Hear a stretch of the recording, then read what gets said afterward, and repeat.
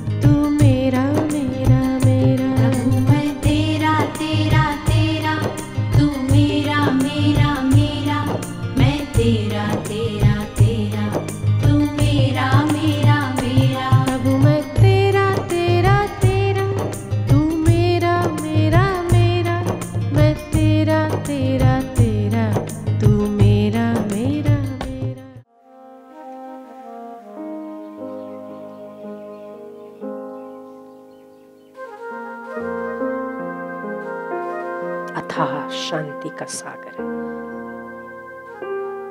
है हृदय पे हाथ रख के इसको लॉक कर दो। उसके सिवा कोई और आना भी नहीं चाहिए, इसमें से कोई जाना भी नहीं चाहिए। इसमें कितना सुख है ना? आनंद है। ना कोई और बैठता है तो बेचैन कर देता है। जब इसका मालिक आता है, वास्तव में सुख तो तभी मिलता है। क्योंकि उसका घर है। अपने घर में जो मालिक आए तो उसे आनंद होता है। वो माप का मालिक है, उसे आने दो, बिठाओ। जो कुछ भी करके उसे जाने ना दिया जाए। कर दो लॉक।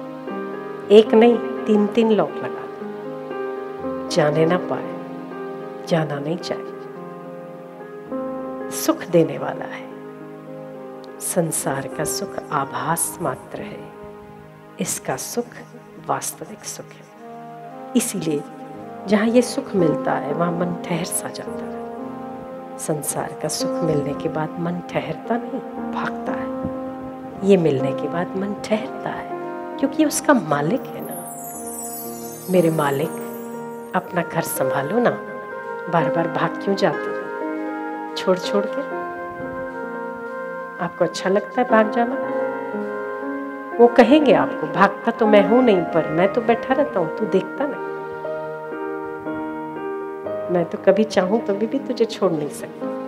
पर तू इतना बेईमान है ना, कहीं थोड़ा सा सुख नज़र आता है तो मुझे छोड़कर भाग जाता है। कहीं थोड़ा सा तुझे अच्छा और सुकून दिखता है, मालिक को छोड़कर भाग जाता है भाड़ुआतियों के पास। कोई बात नहीं, प्यार की गाली भी मीठी लगती है। बना रहे मेरा आपके साथ रिश्ता, आपके साथ संबंध, आपके साथ नाता बना रहे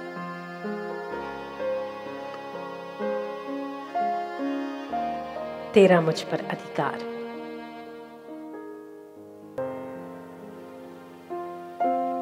माना तुम्हें ज़िंदगी में आधार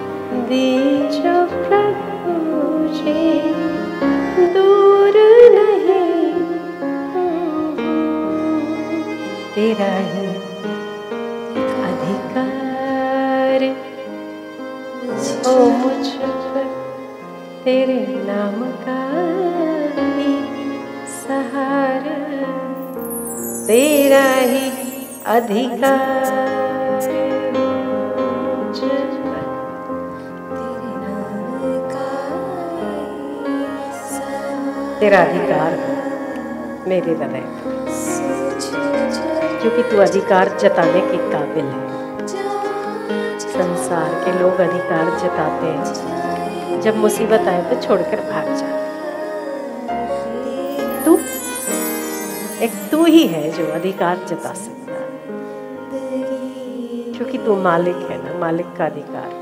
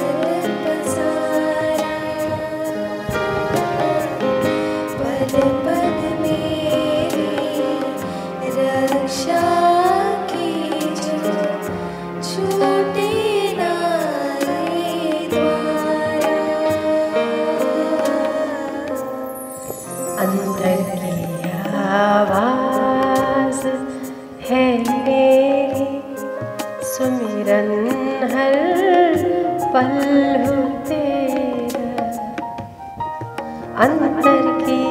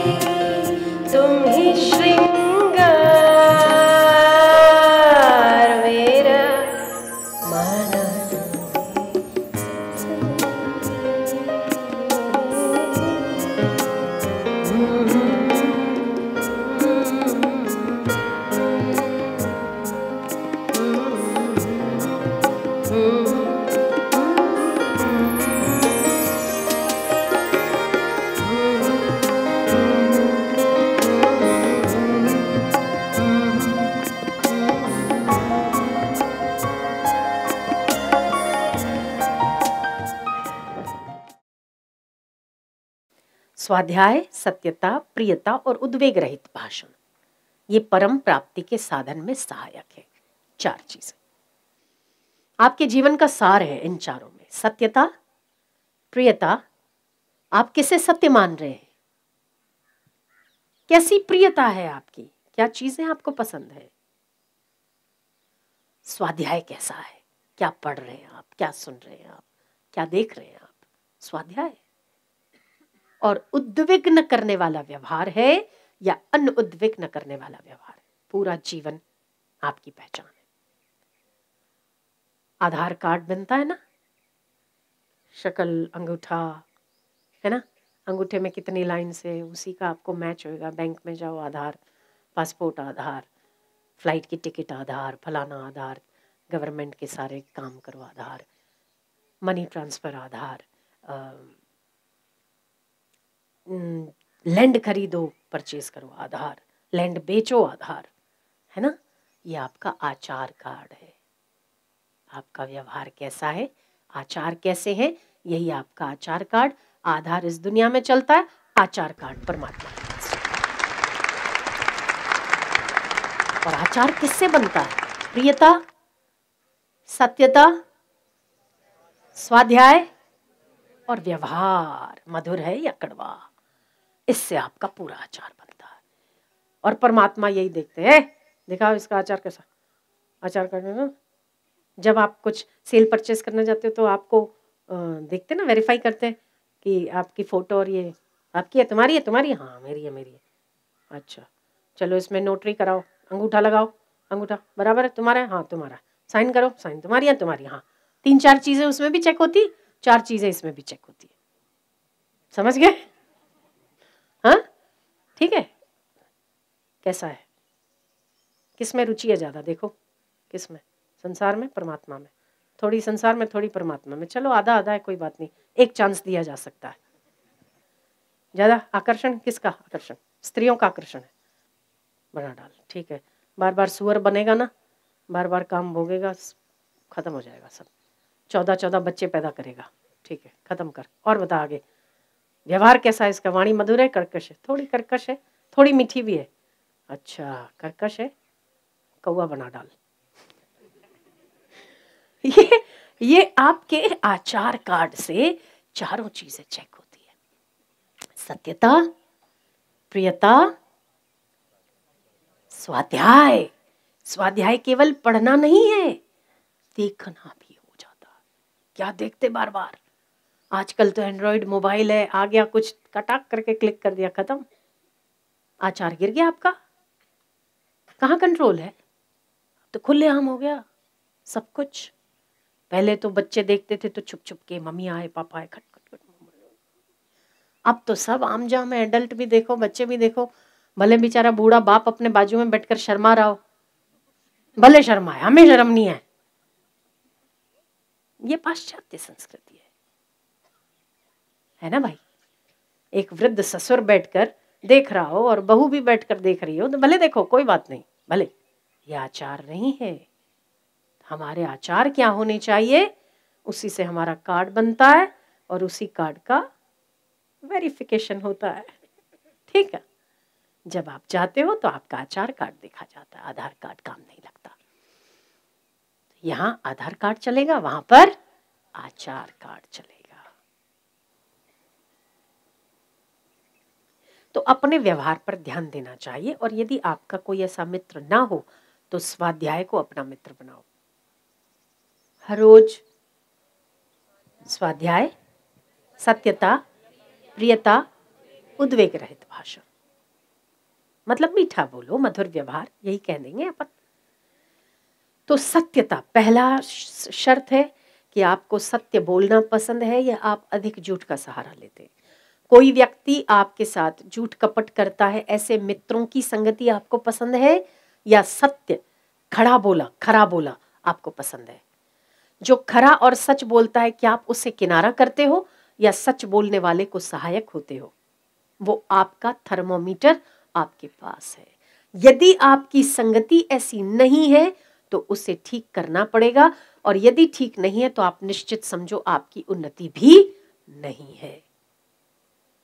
यदि आप ऐसे कुछ कुछ लोगों की दो मित्र कभी कभी आपस में सजातीय सजातीय विचार वाले लोग एकत्रित होते हैं, एक व्यक्ति जिस विचार का होगा ना, उसकी मित्रता स्वाभाविक ही ऐसे विचार के लोगों के साथ हो ही जाती है। ढूंढ कर आप ऐसे मित्र ढूंढ लोगे जो आपके अनुकूल और आपके विचार वाले हों। तो पहले अपने, क्योंकि आप व्यक्ति आजकल तो खासकर ऐसा हो गया है अपने गुण और दोषों को नहीं देख पाता। अपने गुणों को तो ज़रूर देख पाता है, दोषों को नहीं देख पाता। आप अपने मित्रों को देख लीजिए कि क्या आपकी मित्रता कैसे लोगों के साथ है? क्या उसका उसकी इमेज अच्छी है? क्या वो सत्य है? वो प्रिय है? वो मधुरभाषी है? क्या उसे सात्विक चीज़ें पसंद है या राजस या तामस वस्तुएँ पसंद है? आपको अपना अंदाज़ा अपने आप आएगा। तो आपका चार बातें परम साधन को साधने में अति आवश्यक है। वो है सत्यता, प्रियता, स्वाध्याय और उद्वेग रहित व्यवहार। चिड़चिड़ कर नहीं, मधुर भाषण होना चाहिए, उद्वेग रहित भाषण होना चाहिए, प्रियता होनी चाहिए, सत्यता होनी चाहिए और आपका परम मित्र स्वाध्याय यदि आपके साथ है तो आपके गिरने के डर सत्तर टका कम हो जाते हैं। क्योंकि हर बार गुरु तो आपको टोकते हैं, आपको बोलते हैं, कई बार आप लोग सत्संग सुनते ना तो उसमें भी आपकी मनस्थिति के अनुरूप आपको उत्तर मिलते हैं। ऐसा कितने लोगों का अनुभव है मुझे बताओ? लगभग सभी का। आप यूट्यूब चालू करो और आप जिस स्थिति को अभी फेस कर रहे हैं, आपको यूट्यूब से वैसे ही आपको सामने, वैसे सत्संग के वचन मिल जाते, आप आगे बढ़ जाते हो।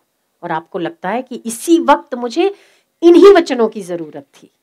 होता है ना ऐसा? कई बार ये तो आजकल यूट्यूब है, क्योंकि हमारी मनस्थिति और हमारी स्थूल शक्तियाँ, सूक्ष्म शक्तियाँ कमज़ोर हो गई हम स्थूल ज़्यादा हो गए तो हमें यूट्यूब की ज़रूरत पड़ती है। पहले लोग आँखें बंद करते थे और उन्हें अपने गुरु के और अपने परमात्मा के, अपने इष्ट के उत्तर आते थे। आज भी आपको आते हैं, पर इतनी आपाधापी है कि हम उसका उत्तर सुन नहीं पाते। इसीलिए यूट्यूब की ज़रूरत पड़ती है। पर यदि हम उससे भी शिक्षा लें तो बढ़िया है। स्वाध्याय अगर बहुत अच्छा अगर हमें बहुत अच्छा कोई मित्र चाहिए तो स्वाध्याय से बढ़कर दूसरा कोई मित्र नहीं हो सकता। स्वाध्याय सत्यता, प्रियता और उद्वेग रहित व्यवहार परम साधन को साधने में बड़े सहायक होते हैं। आप क्या हो? बुखार चेक करते हो ना थर्मोमीटर में? ये भी चेक कर लिया हनुमान, जो मुझे स्मरण करके प्रणाम करता है, मैं उस पर प्रसन्न होता हूँ। हनुमान जी पूछते हैं राम जी से कि जिसके हाथ, जिसके सिर पर बहुत बड़ा वज़न है और वो हाथ नहीं जोड़ सकता है तो? तो बोले, मुख से राम राम कह दे तो भी मैं प्रसन्न होता हूँ। महाराज, अगर उसके मुख में तांबुल पड़ा हो और वो राम भी ना उच्चारण करे। तो महाराज, मस्तक झुका ले। मैंने कहा ना, मस्तक पर अगर कोई वज़न रखा हो और वो मस्तक झुकाएगा और वो वज़न गिर जाए तो? हनुमान, पलकों पर तो कोई भार नहीं होता ना? नहीं प्रभु, अगर मेरा स्मरण करके पलकें भी झुका देगा, तब भी भी मैं अपना स्मरण स्वीकार करता हूँ। यदि इसीलिए मैंने पूछा कि आप ठीक ठाक हो? क्या बाल बच्चे ठीक ठाक हैं? आपका संसार ठीक ठाक है? क्या परमात्मा का स्मरण ठीक ठाक है? यदि उस हृदय से आप स्मरण भी करते हो ना, तभी भी उसको स्वीकार है, पर करना चाहिए। संसार असार लगता है दिन में एक बार। बढ़िया। क्या परमात्मा की याद आती है एक बार? बढ़िया है। अच्छा है, दिन बन गया। पर इतमान से करो, जो करो जैसे बच्चों से प्रेम से मिलते हैं, दिल से मिलते हैं। यदि वो दो मिनट भी आप याद करते हो ना, दिल से करो, हृदय से करो। वो दो मिनट सारे बीस घंटों पर भारी पड़ेंगे, पक्का करो। क्या ऐसा होता है? दिन में एक बार, दो बार, उस व्यस्तता में यदि आप व्यस्त हो तो एक बार या दो बार, हृदय से उसका स्मरण होता है? होता है? आपको होता है? नहीं होता तो करना चाहिए।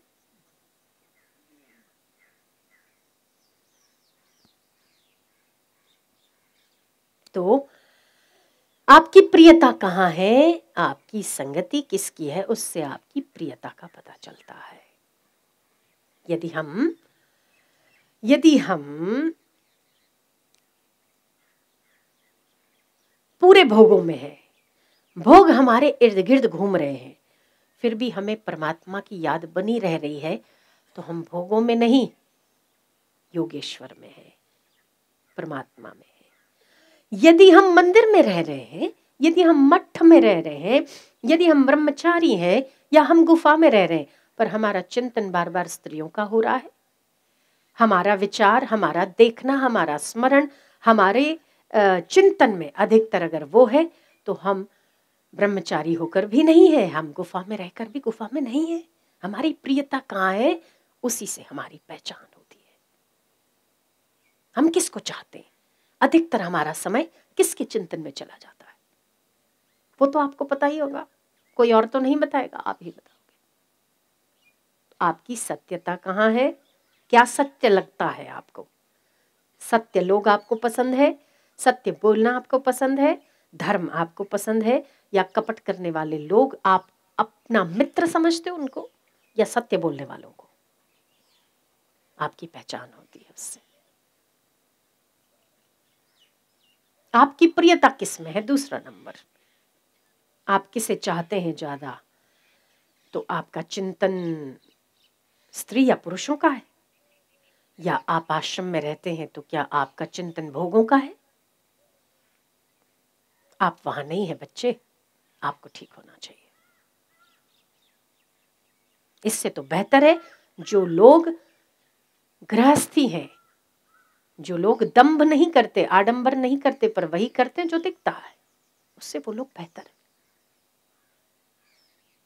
क्या आप गृहस्थी में हैं तो क्या आपका चिंतन सारा दिन भोग और विषय विकारों में हो रहा है? आपको सावधान होना क्योंकि कभी भी पर्दा खिसकता है ना तीन घंटे की पिक्चर देखते हो ना आप, उसमें कांस्टेंट एक भी चीज़ नहीं रहती। एक भी व्यक्ति एक पोज में, एक एक पोस्चर में ज़्यादा देर नहीं रुकता है पिक्चर में। तीन घंटे के एक ही एक व्यक्ति को देखते रहते हो आप? क्या वही देखने जाते हो क्या पिक्चर में? थिएटर जाते हो तो कोई कूट रहा है, कोई मार रहा है, कोई रो रहा है, कोई हंस रहा है कोई की खूल रहा, कोई कूद रहा है है ना? कांस्टेंट एक भी चीज़ पिक्चर के पर्दे पर आपको नहीं दिखेगी। दिखती है क्या? ये संसार भी उसी पिक्चर का पर्दा है। कांस्टेंट न विषय रहते, न विकार रहते, पर पर्दा कांस्टेंट रहता है। जिस पर वो दिखता है। तो आप जो देख रहे हैं ना, जो भोग रहे हैं या जिसमें आपकी आसक्ति है कांस्टेंट नहीं रहेगी। उसके पीछे जो पर्दा है, जिसके आधार से ये पिक्चर दिखता है, यदि उसकी जानकारी मिल गई तो पिक्चर बदलता है तो बदलने दो, आप उस आधार में टिके रहोगे। तो क्या हमारा विचार संसारी है या गृहस्थी है, सन्यासी है या योगी है? क्या हमारा चिंतन अधिकतर परमात्मा का होता है? यदि हाँ विजयी विजयी यदि ना तो होना चाहिए। कल एक कहीं कोई न्यूज़ पढ़ी थी। किसी किसी क्रिकेटर ने कहा कि अगर मैं जीत गया तो जूते से शराब पीऊँगा। अगर मैं जीत गया तो जूते से शराब पीऊँगा। हद, आश्चर्य है कि जिस जूते का अपन उपयोग पैरों को चलने के लिए करते हैं। जूतों को हाथ लग जाए तो हम हाथ धोते हैं।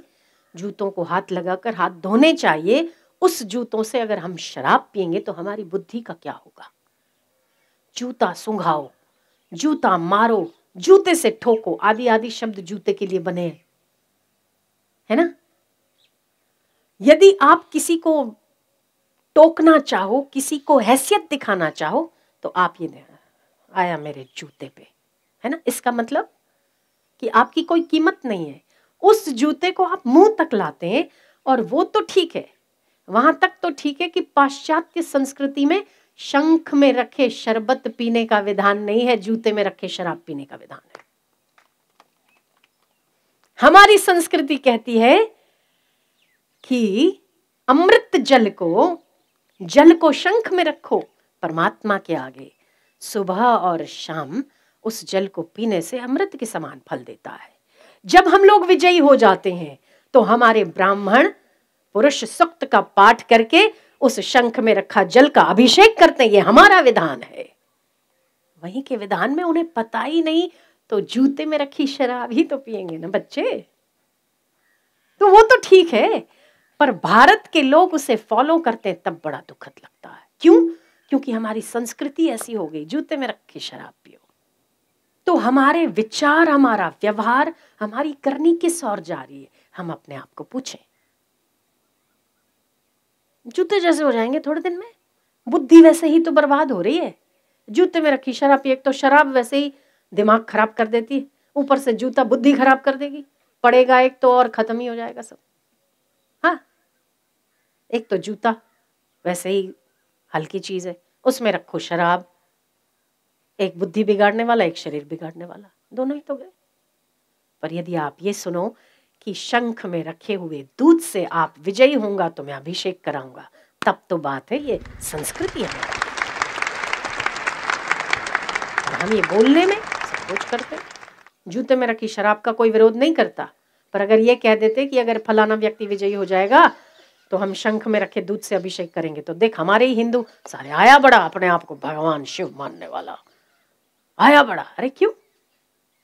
हर व्यक्ति इसका अधिकारी है। भगवान ये नहीं कहते कि आप दूध से अभिषेक अपने आप का या जल से अभिषेक मत करो। हमारे तो शास्त्रों में आप देखो, कोई लोग आप कोई पूजा कराते हो ना, उसमें अभिषेक होता है। शंख में रखे जल का। जो पहले राजा लोग राजा बनते थे, शंख में रखे जल से अभिषेक करते थे। नहीं करते? हमारा विधान है। हम ही अपनी परंपराओं को काटते हैं। तो पाश्चात्य संस्कृति वालों ने स्त्रियों को ही हमारा भगवान मान लिया है। स्त्री ही सब कुछ है। और स्त्री मतलब वो काली स्वरूप में, चंडी स्वरूप में, माँ स्वरूप में नहीं, हाड़ मास के स्वरूप में स्त्री ही सब कुछ है। तो हमारी दृष्टियाँ भी आजकल वैसी हुई। हर स्त्री विषय भोग की वस्तु बनकर रह गई है। कहाँ सम्मान मिलता है उसको? तो हमारा जो समाज है, हम परंपराओं से बहुत ही ज़्यादा इन्फ्लुएंस्ड है, बहुत ही ज़्यादा अपने आप को बाँध कर रखा है हमने। मुक्त हो जाइए सबसे। क्या होना चाहिए, क्या नहीं होना चाहिए? आपकी प्रियता कैसी होनी चाहिए? सत्यता कहाँ होनी चाहिए? स्वाध्याय कैसा है आप? आपको नॉवेल और जासूसी अच्छी लगती है? आपका जीवन उन्नत नहीं, पतित ज़रूर होगा जैसे जासूसों का हाल होता है, वैसे आपका भी हो जाएगा। आप देश के लिए कर रहे हैं, और बात है। भले के लिए कर रहे हैं, और बात है। स्वाध्याय सदैव उन्नति करने वाला होना चाहिए। और आपका व्यवहार कैसा है? चार बातों में सब कुछ आ गया। सर्वे